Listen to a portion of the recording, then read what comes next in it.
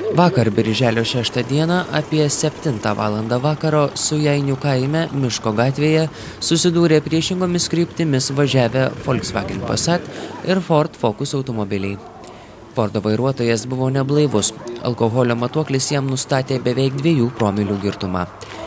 Fordo vairuotojas atsipirko rankos nubrozdinimu, o štai Volkswageno keleiviai prireikė medikų pagalbos.